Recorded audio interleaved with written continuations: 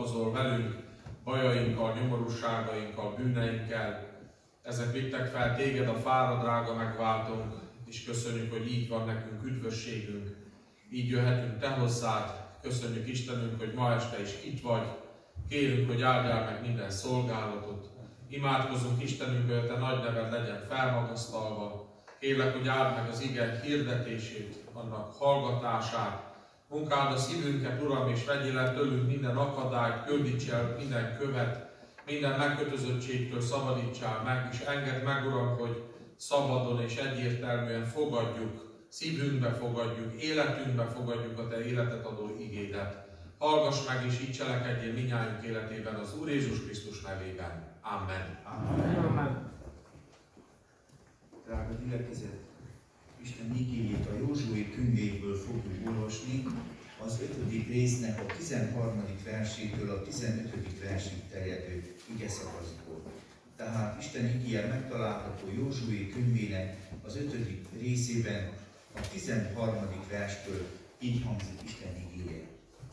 Ő pedig, amikor Józsué Jerikónál vala, felemeli az ő szemeit, és látám, hogy ime egy férfiú áll vala előtte, mesztelen karddal kezében. És hozzám méne Józsué, és mondanéki, közülünk való vagy éte, vagy ellenségeink közül. Az pedig mondta, nem, mert én az Úr seregének fejedelme vagyok. Most jöttem.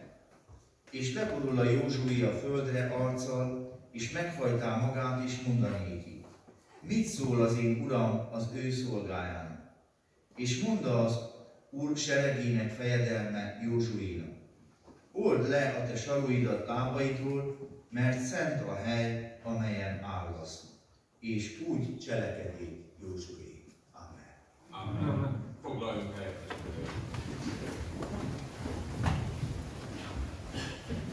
Köszöntünk szeretettel mindenkit ma este is egy, újban, egy újbóli lehetőség arra, hogy Istennek szolgáljunk, meghallgassuk az ő igéjét.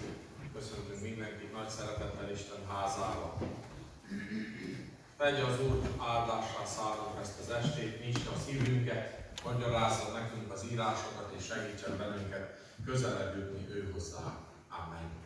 Amen. Köszöntöm szeretettel Budai Lajos lelkipásztor testvét is, aki eljött és ő fogja Isten igéjét hirdetni.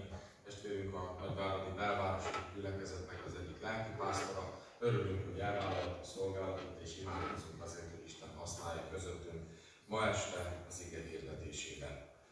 Köszöntjük nagy szeretettel az Ászáv kórust is, örülünk, hogy elvállalták, hogy eh, ma este szolgálnak, és eh, örülünk annak, hogy így készülhetünk az ige hirdetésére, hogy énekek és szolgálatokat hallgatunk meg.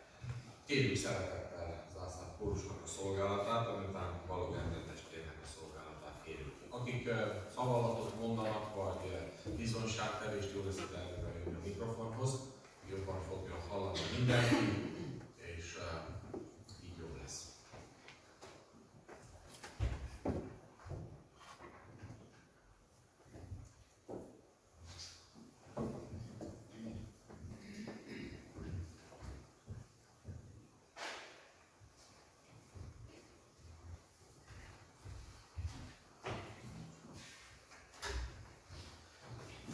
Úgy tudom és úgy tapasztalom, hogy a gyermekeknek nagyon sok kérdésük van. Így? Miért ez? Miért úgy? Miért most? Miért, miért nem? Miért így? Miért? De felnőtteknek van kérdésük, vagy már minden világos? Miért van háború? Ki kezdte? Ki folyt? Ki fejezite? Azt tapasztalom, hogy ameddig eljutottam az életben, nekem is vannak kérdéseim, csak a felnőttek már egy kicsit tudjuk, hogy mondjam, magunkba feltenni például a kérdést, nem hangosan gondolkozni, ugye? A gyermekek még hangosan, ami a szívük használjuk, kimondják, megkérdezik, nem, nincs náluk gond. Anyát, apát, a szomszédot, vagy nagybácsi. De a felnőtteknek azért csak van nekünk is kérdés. Például egy ilyen kérdés valakinek volt valamikor a fejében, a szívében Ki gyógyít összetört szíveket? Nem volt soha szívünk? Ki adhat a gyászban vigaszt neked, vagy nekem? Nem volt senki a családodban, aki már elköltözött volna? Sötétség idején ki hozhat fényt? Félelmek között ki adhat békét? Van egy énekünk, amelynek a négy szakaszából három szakasza csak kérdés, csak kérdés. Úgy most a felnőttek gyermekmódon fogjuk feltenni a kérdéseket, egyenesen, őszintén, élőben. Gondolkozunk el, figyeljünk a kérdésekre. De a jó hír az, hogy van refrén is, amely minden szakasz után jön. Ott pedig már nincs kérdés. Ott már válasz van. És pedig az, hogy tudjuk a választ. Nem nálunk van, nem mi, kell, nem mi találtuk ki, a jó Istennél, mi csak továbbítjuk. És ezért fogjuk bátran, örömmel továbbadni a választ, hogy tudjuk a választ, amely kincset ér, és elmondjuk a többit énekben. Ki is fogjuk vetíteni, ugyanis a feleségi gyülekezet valószínű nagy része tudjuk, már énekeltük ezt az éneket, és aki rá tud hangolni, kapcsolódni, nyugodtan, bátran, tegye fel hangosan is a kérdést, vagy valljuk meg együtt bátran a választ.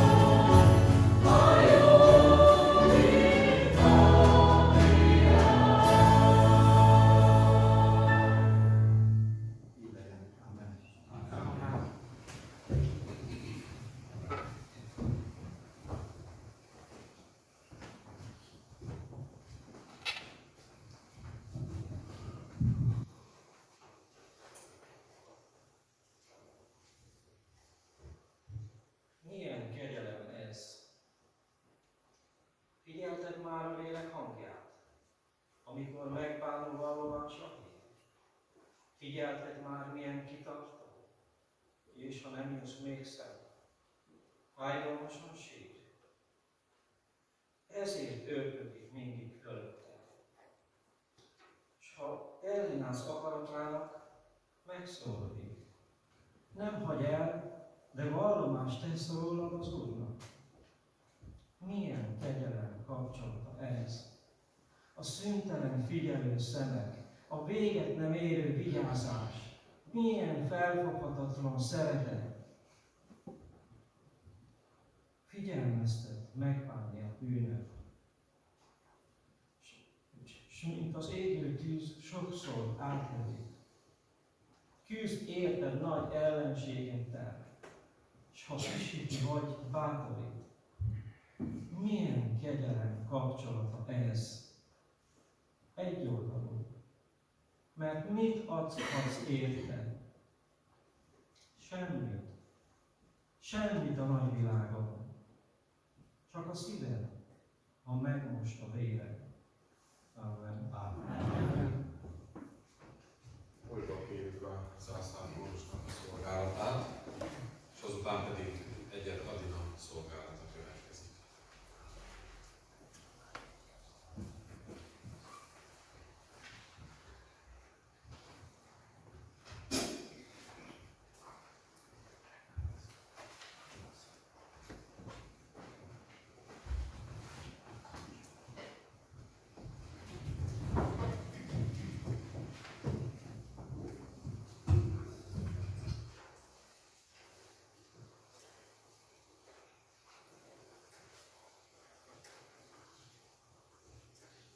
újra egy megvallása ne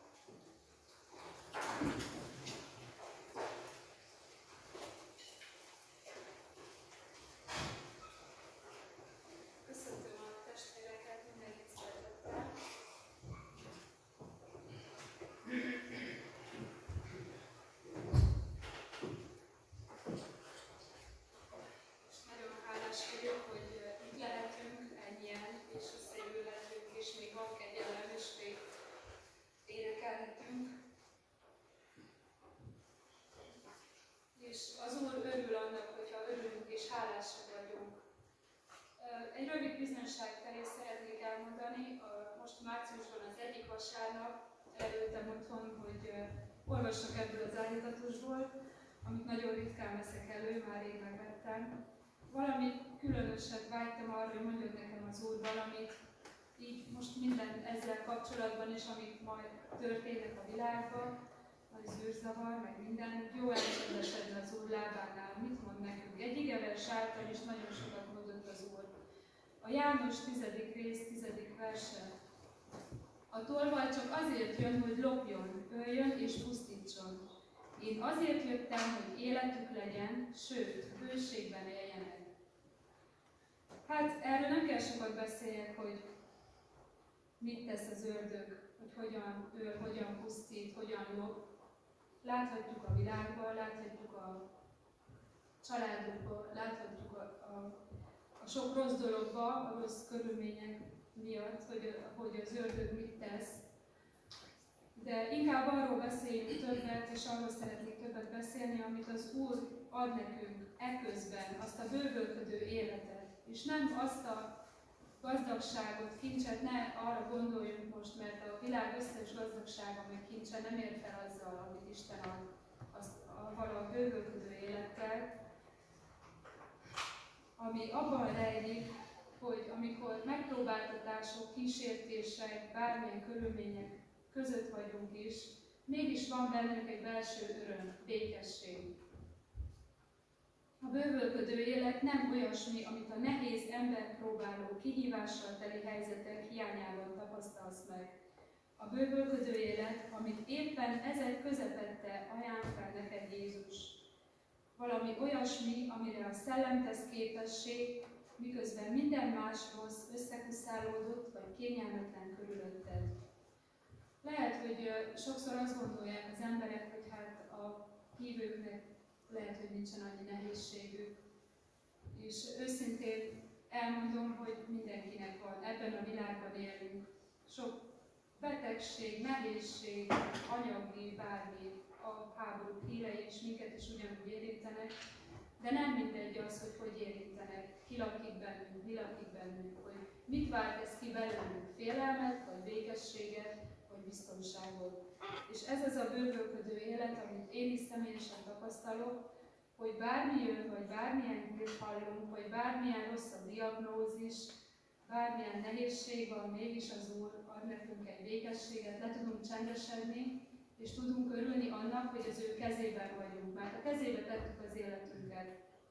Volt olyan az életemben, amikor nagyon nehézség közepette voltam, és úgy, úgy éreztem, hogy egy, burokban zárt engem is, hogy ne érintsen annyira az. És így megvédett. És kit hogy véd meg? A stressztől, a kísértéstől, a nehézségektől, csak az a kérdésem, hogy a kezébe tettük már az életünket. Mert hogyha a kezében vagyunk, akkor biztonságban vagyunk. Az egyik gyermekünk esténként úgy szokott imádkozni, hogy legyünk a te kezedben. Hát ezt kívánom én is mindenkinek. Amen. Amen. Valóban van az, hogy Isten nagyon sok mindent ad nekünk. Valaki azt mondta, hogy a kereszt az Isten plusz jele.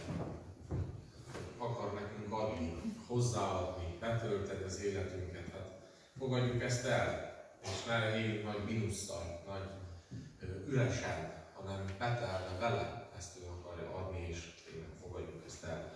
Újból kérjük szeretettel a Zászár a szolgálatát, aztán pedig Kisbed erről Thank you.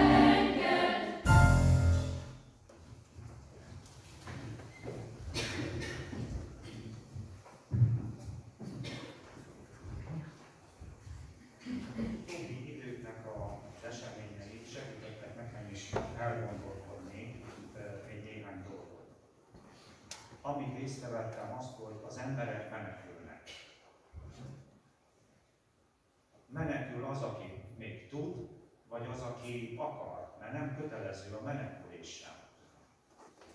Láttam azt, hogy az emberek az életükért menekülnek általában. És a földi javakból pedig annyit visznek, amennyit tudnak egy táskába, vagy egy szatyorba. Mégis is az emberek menekülnek, megtesznek nagyon nagy áldozatot azért, hogy ha lehet, életben és minél jobb eredménnyel megszabaduljanak. Én meg mi nem vagyunk még ebben a helyzetben, és őrizzen Isten bennünket, hogy mi is így kelljen fussunk az életünkért. De azon meg gondolkodtam, hogy van nekem lelkem, ami sokkal értékesebb, mint a, a földi javak közül bármely. És én ezért az én lelkemért vajon most mit teszek? Ezekben a napokban, amit tanítnak arra, hogy, hogy nem élhetek csak úgy passzívan, nem törődve, hogy majd lesz, meg minden jól van, mert látom, hogy nem úgy van. Mit teszek a lelkemért? És az Úr igéje jutott eszembe, meg tanított, amit szeretnék elolvasni ma este, és hadd legyen hasznunkra, meg serkentsen bennünket arra, hogy, hogy tegyünk valamit a lelkünkért. És ne ö, nyugodjunk addig, amíg nem találjuk meg a, a békességet teljesen. Ézsaiás könyvében írja, üzeni az Úr, hogy keressétek az Urat, amíg megtalálható. Hívjátok segítségül, amíg közel van. Hagyja el útját a bűnös és gondolatait az állat ember.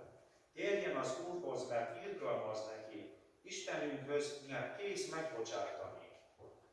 Bizony a ti gondolataitok nem az én gondolataim, és a ti utaitok nem az én utaim. Így szól az Úr.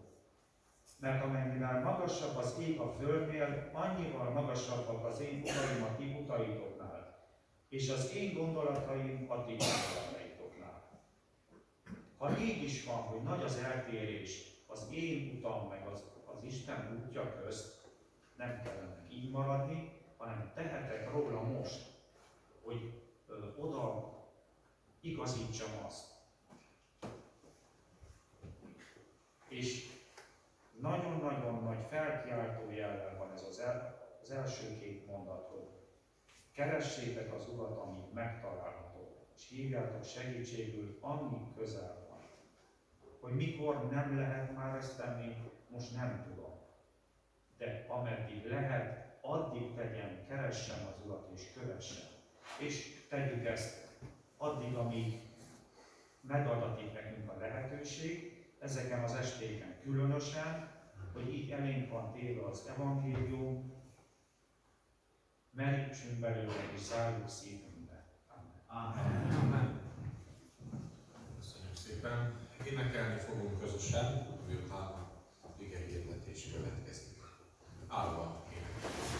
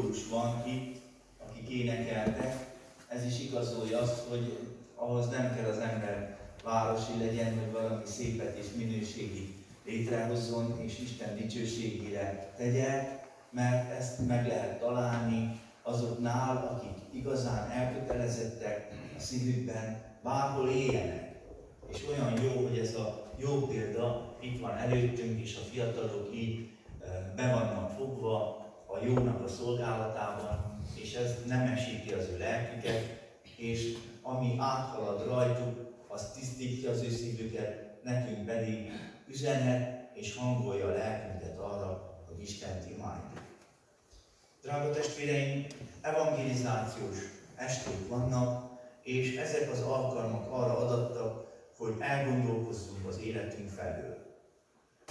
Hogy olyan döntéseket hozzunk, amelyek jók, amelyek Istentől valók.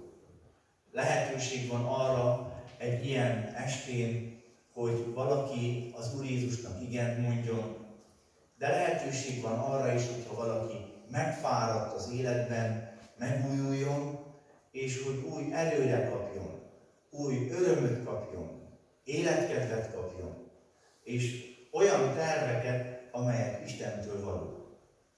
Itt van előttünk ez az ige, amit felolvastunk, ez egy olyan történet, ami az Izrael honfoglalásából való. Izrael népe már ott volt, hogy látták az ígéret földjét, Jerikó volt a széle ennek a földnek, és ott mentek be, hogy aztán birtokba vegyék az Kánaán, amit Isten megígért nekik. És az az érdekes dolog történt, hogy Józsué, a vezetője a népnek, aki Mózes után adott Isten a népnek, találkozott egy olyan valakivel, akiről nem tudta, hogy ki az és hogy hová tartozik. És ha megfigyeljük ezt az igét, azt láthatjuk, hogy itt az Úrnak a küldöttje volt, egy olyan mennyei lény jelent meg, aki aztán Józsuét tanácsolta, bántorította, és utána pedig Józsué megerősödve ment, és részt vett a honfoglalásban. Tehát ezt lehet mondani, hogy ez egy isteni megnyilvánulás volt a teológiában, úgy mondták ezt, hogy teofánia. Isten kijelentette itt magát ezáltal az ember által. Aztán azt is látjuk, hogy nem csak egy teofánia volt, ami egyszer ismétlődött meg, hanem ez már jelezte azt, hogy az Isten képes arra, hogy az emberek közé jöjjön. Tulajdonképpen az Úr Jézusra mutat, aki eljött azért, hogy itt legyen ezen a földön, és megismertesse velünk az Isten. De ez egy igaz történet, tehát ez nem azért kerül bele a Bibliába, mert valaki valamit gondolt vagy halucinál, ez egy megtörtént eset volt. Le van írva, le van írva az, hogy hogy nézett ki az a személy, mi volt a kezében, mit mondott, mit kérdezett, és le van írva az, hogy aztán elvétetett, és nem találkozott Józsué többet ezzel a valakivel ebben a formában. És hogyha megnézzük ezt a történetet, azt láthatjuk, hogy ez egy váratlan találkozás volt. Nem számított Józsué arra, hogy így találkozni fog ezzel a valakivel. De ebben a váratlan találkozásban ő megerősítést kapott az Istentől. És szeretném, hogyha arra figyelnénk ebből az igéből, hogy milyen kérdések hangoztak el ebben a váratlan találkozásban, és milyen válaszok születtek erre a kérdésre. Ernő testvér már bevezette ezt így, nem is gondoltam azt, hogy ennyire találó lesz az, amit mond, de a Szentlélek összehangolta, hogy így van, vannak kérdéseink, de Istennek is vannak kérdései. És olyan jó, hogy vannak válaszai is az Istennek. Nézzük meg az első kérdést, ami itt van ebben az igében. Azt kérdezi Józsué ettől a férfitől, közülünk való vagy te, vagy ellenségeink közül. Józsué, amikor meglátta ezt a harcost, ezt a személyt, akinek a kezében egy kard volt, azt kérdezte tőle, hogy közülünk való vagy, vagy az ellenségtől való vagy. Meg akarta szólaltatni, akarta hallani a hangsúlyából, a beszédéből, hogy kihez tartozik. Akarta látni a mozgását, hogy vajon mely csoporthoz tartozik. És testvéreim, nekünk is ma este ez az első kérdés, hogy te kihez tartozol. Mely táborhoz tartozol? Az Isten táborához, vagy az ördög táborához? Nem akarom vádlóan mondani ezt a dolgot. Imádkoztam, hogy az Úr adjon olyan elkiletet, hogy tudjam megmagyarázni azt, hogy, hogy két tábor van a világon.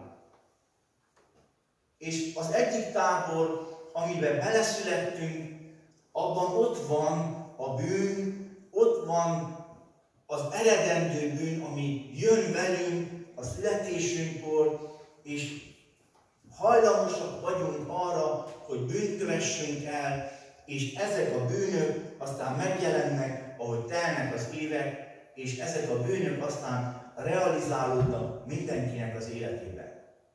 Mindannyian Isten teremményei vagyunk, és Isten akaratából születtünk meg erre a földre. De a természetünkben, a lényünkben van egy olyan hajlam, ami a rosszra visz, és a bűnre visz. És emögött ott van egy hatalom, aki becsapta az első emberpárt is, mert azt mondta neki, hogy jó lesz, hogyha szakítanak abból a gyümölcsből, ami előlük el volt tiltva, és olyanok lesznek, mint az Isten, ők ezt megtették, és szakítottak a gyümölcsből, így védkeztek az Isten ellen, és ennek az lett a következménye, hogy aztán a bűn bejött az életükbe, és elterjedt. És az első emberpárnak utána már nem születtek tiszta egyedei, hanem olyan gyermekei születtek, akik ezzel a bűnös hajlammal jöttek a világra, és azok a gyermekek már ölték egymást, és pusztították egymást. Csak ez az, amit az emberek nem akarnak elfogadni. Hogy ilyen van. És azt sem akarják elfogadni, hogy hogy bűnös a világ. Úgy gondolják, hogy az emberben van annyi humán, van annyi jó, hogy attól még azért szép a világ, pedig nem. A világ az gonosz. Visszaemlékszem arra, hogy az én fiam hogy megdöbbent akkor, hogy milyen a világ, amikor egyszer szembesült ezzel, amikor a saját bőrét tapasztaltam meg, hogy tényleg gonosz a világ. Az osztálytársaival jöttek haza az iskolából, ott Nagyvárad központjában vannak ilyen elhagyatott házak. És megbeszélték, hogy bemennek az egyik ilyen házba, és felmennek a tetejére, és szétnéznek, hogy milyen Nagyváradnak ott az a hely. hely. Letámasztották a biciklit, felmentek, beszélgettek minden, egy fél óra múlva jönnek vissza, sehol a bicikli. Jön haza, nagy krokodil könnyekkel, hogy ellopták a biciklit. Kérdezem tőle, hát lezártad a biciklit? Hát nem. Hát mondom, mit gondolsz? Hogy úgy kapod meg a biciklit, hogy még tíz lehet oda is csintetnek neked, és ott hagyják a biciklit? Hát azt mondja, hát nem gondoltam, azt mondja tőlem, soha semmit nem loptak el.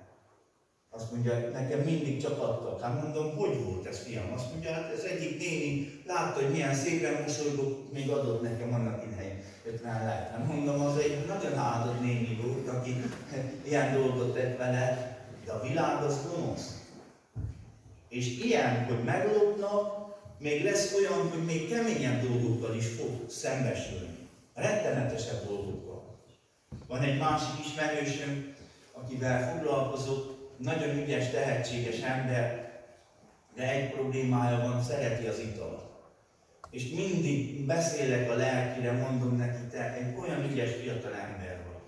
Olyan sok szépet, jót tehetnél az életben. Miért van az, hogy hogy jönnek ezek a hullámok nálad, és akkor belekerülsz abba az örvénybe, és teszed tönkre magad meg, teszed tönkre a családodat és a, a gyermekedet is. Hát azt mondja, én így érzem jól magam, meg azok az igazi barátok. Mondom neked, vigy neki, vigyázz, mert be fognak csapni ezek a barátok. Ezek nem jóra húznak téged. Ha te mész a kocsmába és ott találkozol, megoldódik a nyelved, egy sör, veszed a többi, míg lerészegesz, és egyszer meglátod, hogy, hogy nagyon nagy bajod lesz ebből a dologból.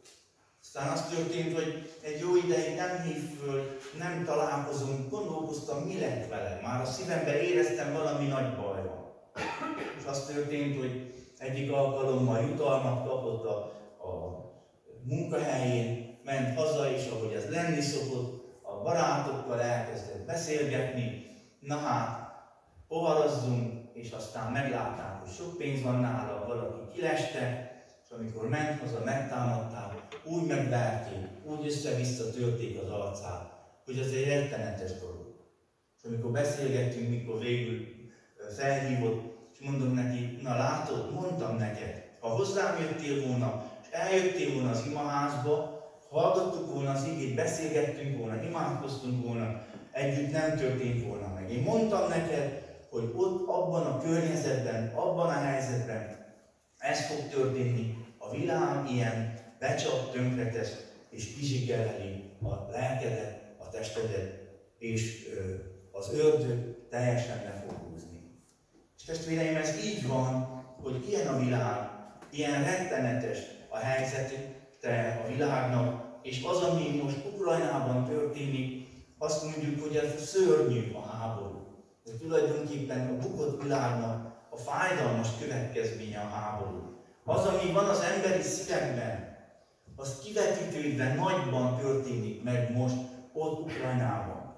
Az a gyűlölet ember és ember ellen, nemzet és nemzet ellen, ezek a dolgok jönnek elő, és vetítődnek ki, és okozzák a háborút. Lehet mondani azt, hogy most az oroszok a hibások, az ukránok a hibások, a gyökere ennek a szeretetlenség, a gyökere ennek a bűn, a gyökere ennek a gyűlölet, ami ott van az emberek szívében. És azt mondjuk, hogy ilyen gonosz a világ.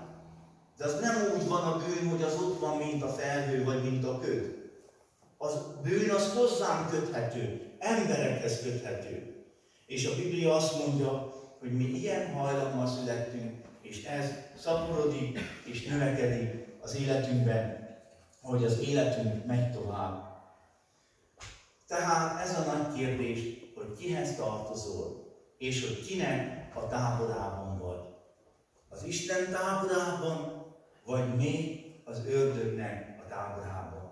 Vagy még a világnak a táborában. Még mész a bűnös úton. Még táplálod magadban a bűnös hajlamot, az atyáimtól örökölt hiába való természetet, vagy már választottál és újjá lettél. Ebben a felolvasott igében és történetben az a nagyon jó és figyelemre méltó hogy miután Józsué ezt a kérdést felteszi, hogy kihez tartozol, ez a küldött, aki megjelen, határozottan azt tudja mondani, az pedig mondta, mert én az Úr seregének fejedelme vagyok. Most jöttem. És amikor ezt hallotta Józsué, leborult előtte. És olyan jó testvéreim, hogy ezt, akik átéltük, hogy milyen az Úr jelenléte, és milyen az Úr közelsége, kimondhatjuk, hogy így van, hogy az Úr táborához tartozunk, és hogy az Úr családjához tartozunk. Hogyan kerül az ember az Isten családjába? Hogyan kerül az ember az Isten táborába? Mert azt már elhangzott, hogy az ördög oldalán születünk, bennünk van a bűnös hajlam, de hogy kerülünk át a másik táborba, az Isten táborába? Erről is beszél a Biblia, és számtalan példával igazolja ezt, és mutatja be számunkra ezt a Szentírást. Először is az, hogy fel kell ismerni, hogy ez így van. Hogy igaza van a Bibliának, hogy a bűnre hajlamosak vagyunk. És hogy nem csak hajlamosak vagyunk, meg is jelent a bűn az életünkben. És hogy elveszettek bűnösök vagyunk. Amikor ezt az ember felismeri, és amikor le tudja tenni azt a fegyvert, amivel az Isten ellen harcol, akkor az Isten megkönyörül rajta. Milyen fegyverekkel harcolunk mi az Isten ellen? Mi az, amit felhozunk?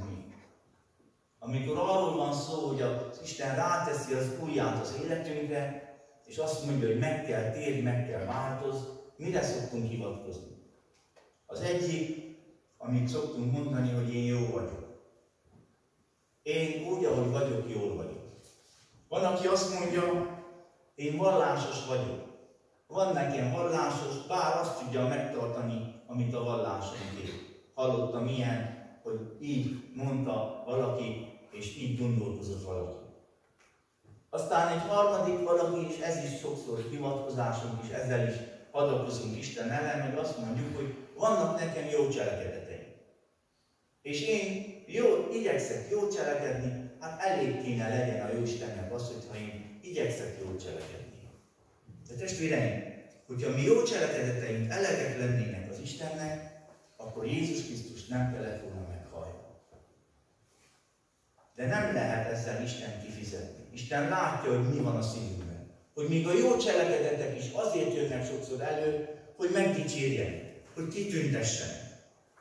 Most képzeljük el azt, hogy egy, ott állunk a mindenható Isten előtt. Az előtt az Isten előtt, aki mindent tud, hogy mi van a szívünkben. Aki nem csak annyit fog be egy embernek az életéből, mint egy édesanyja, amennyit befog a gyermekének az életéből. Mert az édesanyák általában ránéznek a gyermekükre, már a szemükről tudják, hogy mi történt. Még édesapák is. De az Isten sokkal többet tud és sokkal többet ismer. Tudja minden rezdülésedet és látja azt, hogy bűnös vagy. És mivel az Isten igazságos, téged a bűnét meg kell büntesse. De másik oldalon pedig szerető Isten. És meg kell kegyelmezzen neked. És hozzá tartozol, mert ő teremtett téged. Hát akkor mit tegyen az Isten? Egyfelől igazságos kell legyen, és számunk kell kérje, meg kell büntesse a bűn, másik oldalon pedig kell szeressen, és a szeretetét kell éreztesse vele. És olyan érdekes, hogy a Biblia elmondja, hogy ezt a kérdést Isten a Szent Háromságon belül oldotta meg. Úgy, hogy Jézus Krisztusban eljött erre a világra. Magára vette Jézus a mi bűneinket. Ő a szeplőtlen bárány, akiben nem találtatott vétek, és nem találtatott álmokság, meghalt értünk bűnösökért. És ez egyedi dolog, amit ő tett mert bűnös ember még halt meg másokért, a szabadságban, a szabadságért, vagy halt meg a népért, hallottunk ilyen sokszor, hogy valaki életét adta a másik emberért, de egyik bűnös adta a másik bűnösért az életét. De amit Jézus tett, olyan senki nem tett. Ő benne nem találtatott bűn. Ő tiszta volt, és mégis magára vett a mi bűneinket és a keresztfán elszenvedte a szörnyű kereszthalál, és amikor Isten ezt az áldozatot látta, akkor minket, embereket szabadon engedett, és nekünk megbocsátott. Testvéreim, semmi más nem kell tenni, mint azt, hogy hittel ezt elfogadjuk, hogy ez életünk és helyettünk történt. És amikor ezt valaki elfogadja, ez egy élmény, ez egy megtapasztalás, ez egy olyan döntés a lelkében, amit soha nem felejt el. Amikor én 13 éves voltam, én is ebben az imaházban indultam meg annak idején. Amikor apósom itt volt Kislászló testvére egy ifjúsági találkozó. És emlékszem, hogy én itt megértettem azt, hogy nekem is meg kell térni. Még utána volt egy vajudási idő, amíg eljutottunk nagymamámhoz Szalontán. És ott tudtam letenni a bűneimet, és ott tudtam szembesülni azzal, hogy tényleg az Isten megbocsátó, és úgy, ahogy vagyok, engem elfogadott. És nem kell vezekeljek, és nem kell kikönyörögjem azt, hogy valahogy, valahogy megbocsásson, hanem mivel Jézus értem meghal, és mivel az életét adta értem, ezért az Isten nekem is megbocsájtott. És én akkor ezt hittem megragadtam. Sok minden történt azután, de az Isten ezt a döntést komolyan vette. És mindig a fényt növelte bennem, mindig erősített, és az igék által foglalkozott velem, és táplált engem. És így vagyunk ezen mindannyian, hogy úgy kerülünk az Isten táborába, hogy hogyha hozunk egy döntést, és hogyha Jézus Krisztust elfogadjuk. Mert Jézus által lehet bejutni az Isten családjába. Azt mondja az Úr Jézus, illetve az Úr Jézusról az ige, hogy az övéi közé jövek, de az övéi nem fogadták be őt. Valakik pedig befogadták őt, hatalmat ad azoknak, hogy Isten fiaivá legyenek. Azoknak, akik nem testől és vértől születtek, hanem akik légektől születtek. És így van ez, hogy mivel minket ő megváltoztatott, ezért lehetünk az Isten gyermekei. És ezt a lépést ma este is meg lehet tenni. Ez nem valami különleges embereknek az előjoga. Mindannyiunkat szeret az Isten. Azt mondja az igen. Úgy szerette Isten a világot, hogy az ő egyszülött fiát adta, ha valaki hisző benne, el ne vesszen, hanem örök élete legyen.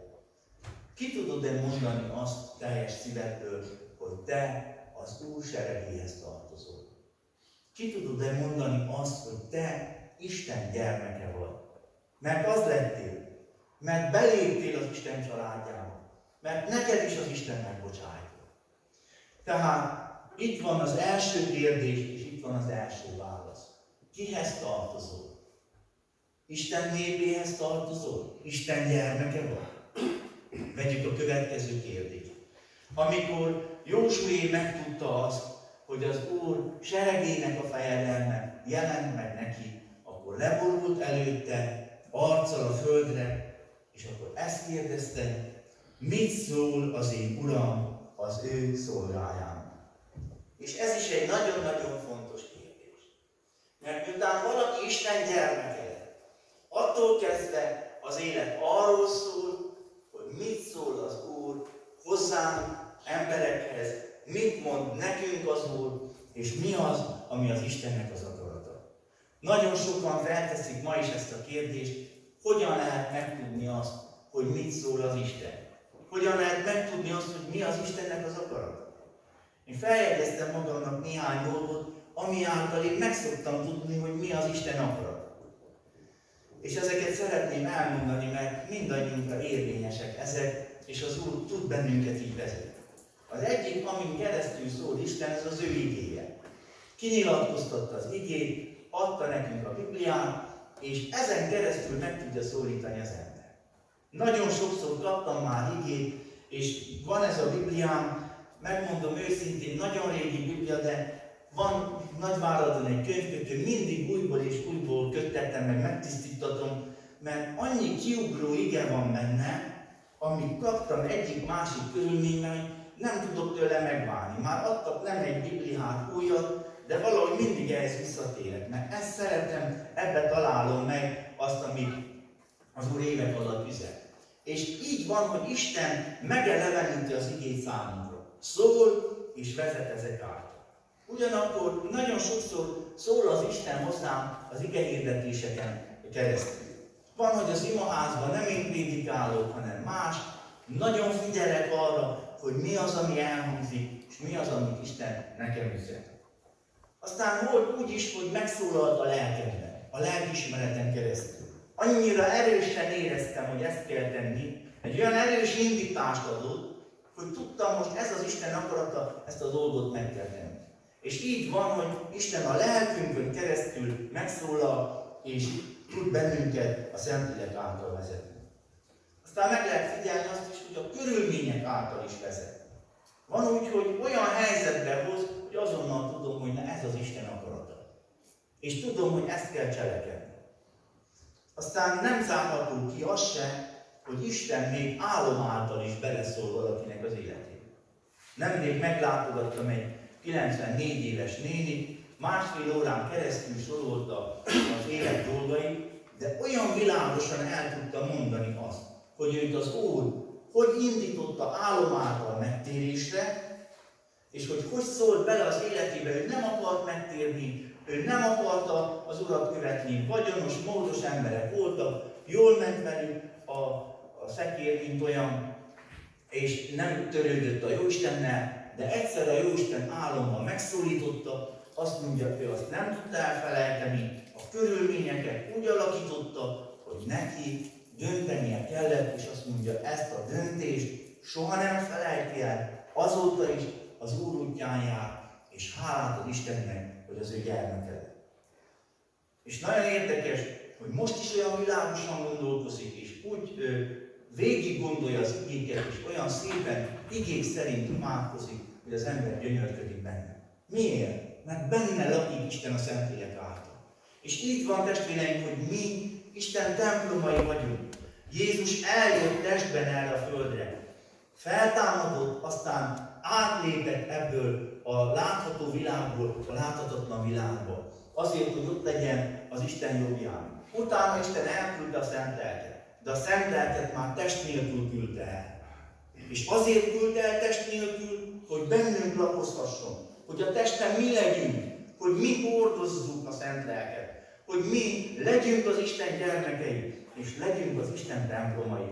És ez az óriási kívánság adatot nekünk, hívőknek, hogy így lehetünk az Isten gyermekei, az Isten hordozói.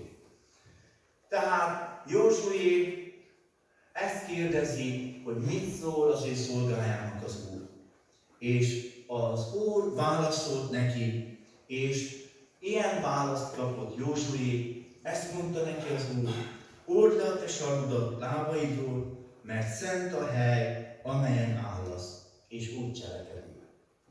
Józsué akkor ott volt a nép élén, következett volna az, hogy a, elfoglalják azt a földet, amit Isten megígért neki. És ő így emberileg, ha végig olvassuk ezt az igét, valószínű, hogy egy olyan stratégiát várt volna az Úrnak ettől az emberétől, aki még ráadásul harcos is volt, így mondta, hogy az Úr seregének a fővezére, egy olyan stratégiát várt volna, hogy elmondja, hogy most mit kell tenni, hogy állítsa fel a népeket, és hogyan induljanak be ebbe a honfoglalásba. Ehelyett nem ezt kapja, hanem egy érdekes dolgot mond neki az Úr. Azt mondja neki, old le a te saruidat, mert szent az a hely, amelyen állasz. Vagyis azt mondja, hogy alázkodj meg. Annyira alázkodj meg, hogy még a cipődet is vedd le, mert szent az a hely, amelyen állasz. És utána pedig hangsúlyozza azt, hogy szentel meg magadat. Mert ez a leghatásosabb stratégia. És testvéreim, figyeljük meg, hogy ma az embereknek erre a kettőre van szüksége hogy alázatos legyen az Isten előtt, és hogy szentül járjon a földi létbe. A nagy bajok mindig abból fakadnak, hogy az ember büszke. Hogy elbízza magát. Hogy föléje akarja helyezni magát az Istennek. Föléje akarja helyezni magát mindenkinek a környezetében. Ő akar istenkedni. A gyermekben is benne van. Azt kérdeztük egyszer a kisleánytól, akit adott nekünk a Jóisten ötödiknek, hogy kérdeztük tőle, Csillag, szeretnél felnőni? És azt mondja, igen. És kérdezzük tőle, miért szeretnél felnőni? Azt mondja, azért, hogy mindenkinek parancsolja. Hát mondom, te jól elindultál, hogy akarnál parancsolni mindenkinek. De benne van a hajlam. És nem csak benne, mindannyiunkban ez a hajlam benne van. A büszkeségre, az irányításra, és nem a szolgálatra. Isten pedig azt tanácsolja nekünk, hogy alázkodjunk meg. És testvéreim, ha megnézzük a családunkat, a környezetünket, ezt a községet, a gyülekezetet, azzal tudjuk meggazdagítani, ha szolgáljuk, ha szeretjük mindazokat, akiket az Isten nekünk adott. És hogyha nem uralkodni akarunk egymáson, hanem igazán szolgálni akarjuk egymást. Az Úr Jézus ebben példát mutatott amikor ott volt az utolsó estéken, kötény kötött, mosdót állat vett, és megmosta a tanítványt. Példát, példát adtam nektek, hogy ahogy cselekedtem veletek, ti is úgy cselekedjetek, és ez nem a lábosást hangsúlyozta, hanem az alázatot hangsúlyozta. Azzal a lelkülettel legyetek, amilyen lelkülettel voltam én is hozzátok. Másik helyen azt mondja, hogy úgy szeressétek egymást, ahogy én szerettelek titeket. Erről fogja megtudni mindenki, hogy az én tanítványaim vagytok, ha szeretni fogjátok egymást. Tehát ma is ez az üzenet, hogy alázkodjunk meg, oldjuk le a mi sarunkat. Mert Istené ez a föld, Istené minden ember, és azt akarja, hogy akik megismerték őt, azok szolgálják a többi ember. Az erős gyámolítsa a gyengét. Az erős, a gazdag segítsen a szegénynek. Az, aki már megkapta a tenyeret Istentől, segítsen annak, aki még kéri, aki még koldulja ezt a tenyeret, aki koldulja az igét, az boldogságot, azt az örömet, amit az Isten már a mi szívünkben meggyújtott és nekünk adott. És ezt nem lehet másképpen képviselni, csak alázattal és szeretettel. Aki ágál, és aki büszke, és aki mások fölé helyezi magát, Isten azt az ember nem tudja használni. Jézus az alázatban mutatott példát nekünk. És azt is mondja itt az igen, hogy szenteld meg magadat, mert az a hely, amelyen állasz, szent hely. És ez ami nagyon-nagyon fontos ma is, hogy a tisztaság, a jó erkölcs, az a belső tartás, ami Jézustól való, ami igazán keresztény tartás, az legyen ránk jellemző, mindazokra, akik az Urat megismerték. Mert hogyha ez ott van bennünk, akkor azt látjuk, hogy ezt teszi hatásossá, ragályossá a hitet. Sokan úgy gondolkoznak, valami nagy hökkenetes dolgot kell tenni az embereknek ahhoz, hogy megismerjék az Úr Jézus. Vagy valami nagy módszer kell, hogy az emberek felfigyeljenek az Úr Jézusra. Semmilyen módszer nem szükséges, testvéreim, mint az, hogy alázatosak és szentek legyünk. Nyilván az Úr aztán ad leleményességet dolgokba, hogy mit, hogy tegyünk. De azt látjuk, hogy egy gyermeknek az életét, egy falus felünknek, egy szomszédunknak az életét nem azt fogja megváltoztatni, hogyha mi valami új dolgot fogunk neki mondani, hanem azt fogja megváltoztatni az életét, hogyha mi Jézus Krisztusról beszélünk. Azt mondta az egyik elődünk, hogy Isten háromféle módon jelenti ki magát. Kijelenti magát a természetben, mert láthatjuk azt, hogy a természet az az ő kezemunkája és csodálatos módon alkotta meg Isten. Kijelentette magát nekünk az Úr Jézus Krisztus által, ahogy ez leírja a Biblia, és elmondja nekünk a Bibliában Isten, és a harmadik pedig kijelenti magát a hívők által, a megélt Biblia által, a keresztények által, akik megélik a hívő életet, megélik a Szentírásnak a szavait. Mert mi erre hívottunk el? hogy bibliás emberek legyünk. Hogy Isten kijelentése átítassa a lelkünket, meghatározza az életünket, cselekedeteinket és jövőnket. Tehát a két kérdés. Kihez tartozol? Ki tudod-e mondani azt, hogy az Úrhoz tartozol? Aztán a második kérdés. Mit szól az Uram az Úr? Szól hozzád is az Úr. És ezen az estén válaszolhatsz neki. És az Úr azt mondja, alázkodj meg, és szenteld meg az életedet. Kötelezd el magadat az Isteni szentség mellett, az Isteni tisztaság mellett. És ennek az életnek van értelme, ennek az életnek van nagyon sok tevékenysége, nagyon sok áldást, nagyon sok jó ad az Isten. Mindazok által a dolgok által, amelyeket elvégez az életünkben. Testvéreim, azt mondhatom el alázattal is, így szeretném tényleg mondani, hogy amióta az Urat megismertem, azt mondhatom el, hogy egy unalmas napom nem volt. Nem azt mondom, hogy nem voltak nehéz napok. Voltak nehéz napok. Annyi építkezés, annyi nehéz ügy volt az emberek között. De mindig éreztem, hogy, hogy ott van velem Isten. Éreztem, hogy az a láthatatlan kéz mindig valahogy igazgatja az életemet, igazgatja sorsomat. És olyan jó hozzá tartozni. És olyan jó az ő gyermeke lenni, és az ő szolgája lenni. Kihez tartozol? Ma erre a kérdésre választ lehet adni. És ha azt mondja az Úr a szívedben, hogy még nem tartozol hozzám, akkor nyisd meg az életedet, és kérjed, hogy fogadjon el, hogy tartoz hozzám mert ő szeret téged, hív téged, és akarja azt, hogy a gyermekené, ne csak a teremtménye. Amen. Amen. Hajtsunk fejet is.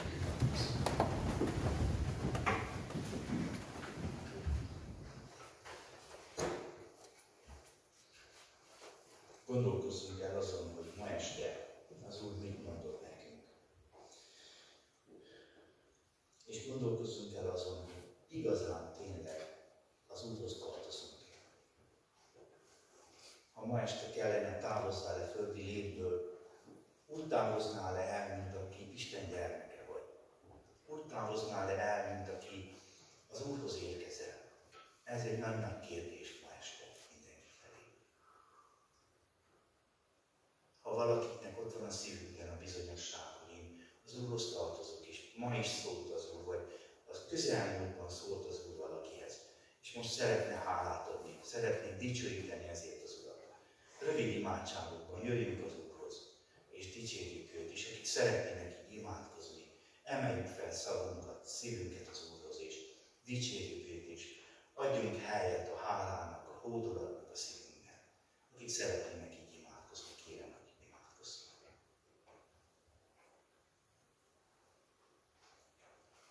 Azzal, Úr Jézus, mert felismertelek, és engem is megszólítottál fiatalkoromban, és engedelmeskedtettem neked. Köszönöm ezt a kívánságot, hálát adok neked ennek az áldásáért.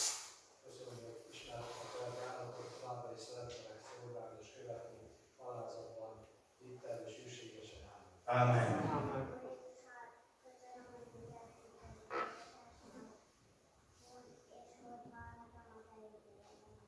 Amen.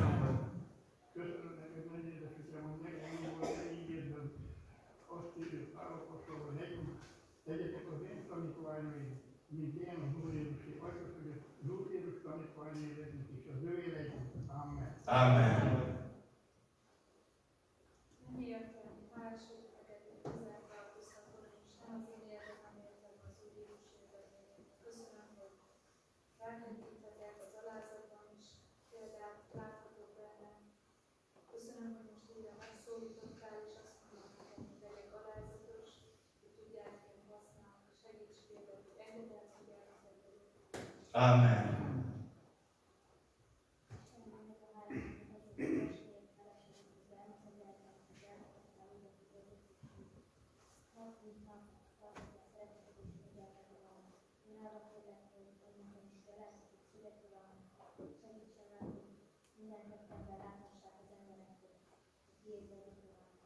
Amen.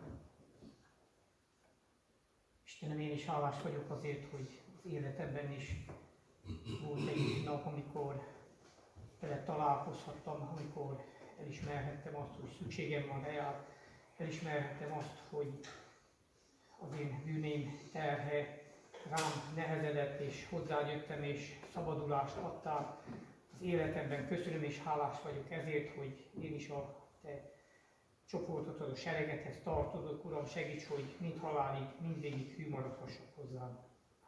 Amen.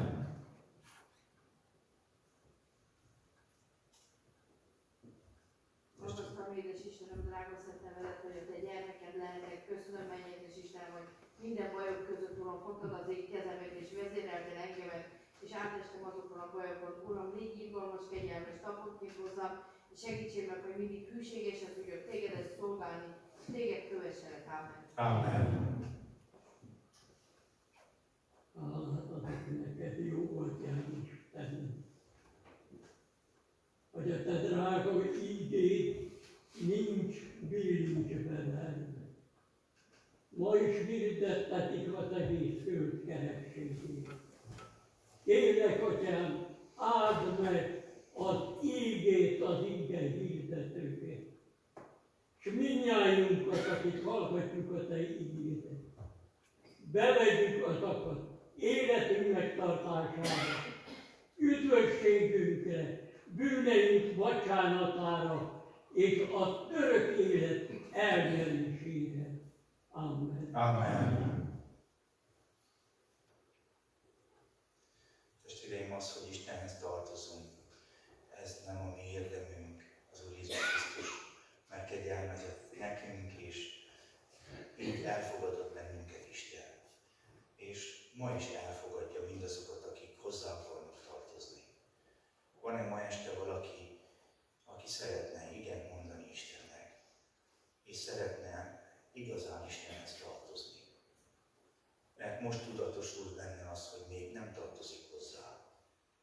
este megérett a szívében a válasz, hogy szeretne Isten gyermeke lenni, szeretne az Úrhoz tartozni. Azoknak szeretnénk most segíteni, akik így kívánnak az Úrhoz közeledni, és kívánnak neki igen mondani. Egy imádságot fogok mondani, és kérem, hogy aki szeretne az Úrhoz közeledni, szeretne neki az életét átadni, az mondja velem ezt az imádságot. Minden mondatot lehetőség legyen arra, hogy akár félhangosan, akár a szívedben elmond ezt az imádságot, és így közeledj a Jó Istenhez. Ha hiszed azt, hogy téged elfogad a Jó Isten, akkor meg is fogod tapasztalni, át fogod élni ezt ezen az estén. Így fogunk most imádkozni. És akik szeretnének velem imádkozni, kérem, hogy hangosan, hogy a szívükben mondják ezt az imádságot. Mennyei Atyám, köszönöm, hogy szeretsz engem. Köszönöm, hogy az Úr Jézus Krisztust érettem és küldted. Elhiszem, hogy a bűneimért értem halt meg a Golgotai kereszten. És azért támadott föl, hogy én igazzá legyek. Megértettem azt, hogy bűnös ember vagyok. De bűneimből most hozzád megtérek. Kérlek, hogy fogadj el engem, és tisztíts meg engem a te véred által. Hadd legyek én is a te gyermeked. Hiszem, Atyám, hogy elfogadsz, és ígérem neked, hogy az életem hátralevő részét neked fogom élni, a te szolgálatodban, alázatban és szentségben. Amen.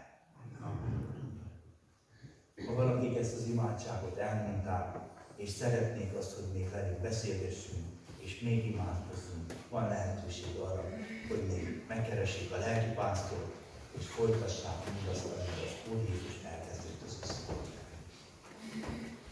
Kérjük az ászlát